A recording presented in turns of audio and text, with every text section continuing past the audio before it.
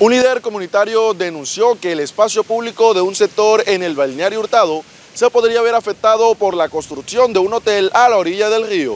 Hola Valledupar, les habla César Ahumada. Hoy, 11 de marzo del 2024, nos encontramos aquí a la orilla del río Guatapurí, donde piensan hacer un hotel, pero miren, van a privatizar toda esta zona porque solamente van a tener acceso los dueños del hotel o los que se hospeden en él.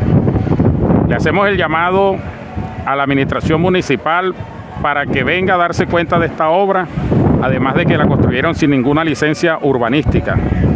Preocupante esta situación que privaticen las orillas del río Guatapurí. El ICBC es una institución que marca la diferencia.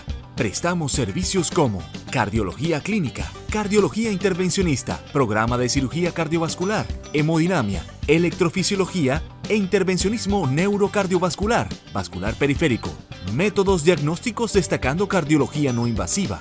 Además, contamos con el servicio de unidad de cuidados intensivos y hospitalización, un equipo humano comprometido en el cuidado y monitoreo de nuestros pacientes, brindando un servicio oportuno según la necesidad.